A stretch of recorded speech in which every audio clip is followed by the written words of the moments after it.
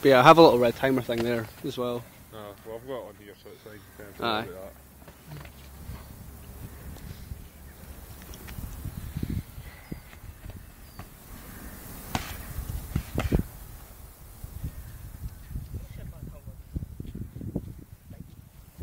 I'll try and zoom in a little bit more.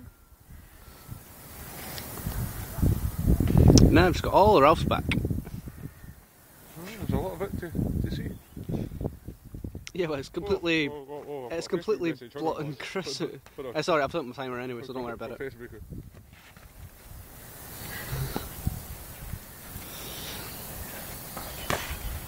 Cool, I'll go back to the timer. Oh, Oh no, wait. oh no, they're both at the camera now. Ah, there we go. Sorry, it's gone. It's cool, I've still got mine. I thought switching application would. Oh no, wait, no, it's still gone. Oh, that's cool. Hey! On, Chris, get back in the ring.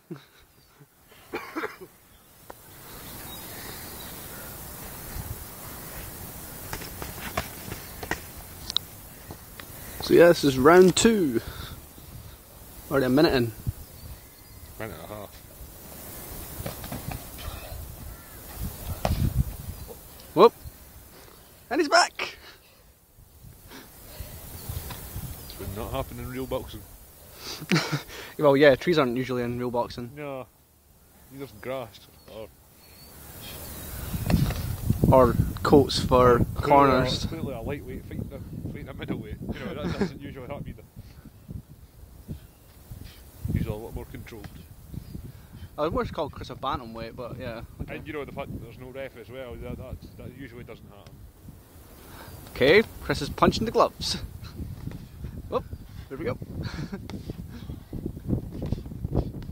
Uh, Man. I think the official term is Chris is getting raped. I wouldn't quite say so. Uh, they've, they've both been trading some good I have punches. not actually seen him throw a punch that actually connect with Ralf's past once. There was quite a lot of punches thrown by Chris in the last round. Yeah, there's a lot of punches thrown, but none of them are really connected. Hmm.